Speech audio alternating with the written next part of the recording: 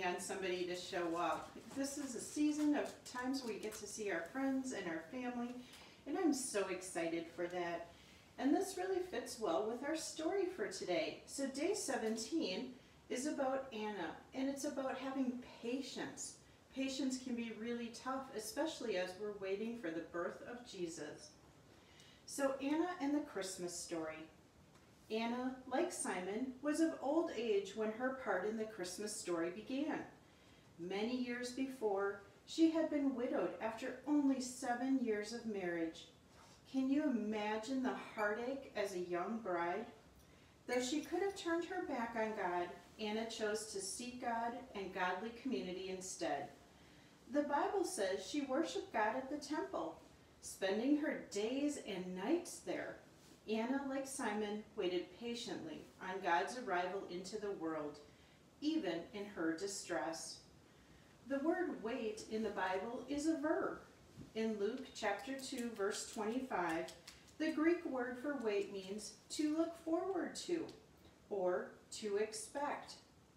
In this instance, the word means that both Simon and Anna expected the first advent. They knew without a doubt that Jesus was coming, but they had no idea when. Because Anna spent her entire life serving God, she was in the temple on the same day as Simon. Having a close relationship with God, she also recognized Mary and Joseph when they entered the temple with Jesus. The Bible tells us that when Anna saw baby Jesus, she blessed him and began telling everyone about him her wait was worth it. So today we're talking about waiting on God is really worth it. So what I'd like you to do in your house, with your friends, with your family, is to draw a picture or have a conversation about a time that, let's be honest, you probably didn't wait so well. Tell your family that story. How did not waiting well make you feel? How did it make others around you feel? Then I want you to think about something else. It's called expectant waiting, or ways that you can honor God while you wait. Talk about ways you can wait on God with faith, without being bummed out, and with gratitude and expectation of what God will do. How does waiting in this way make you and everyone around you feel? Is there a prayer of yours God hasn't answered yet? What might be some reasons God makes us wait on him?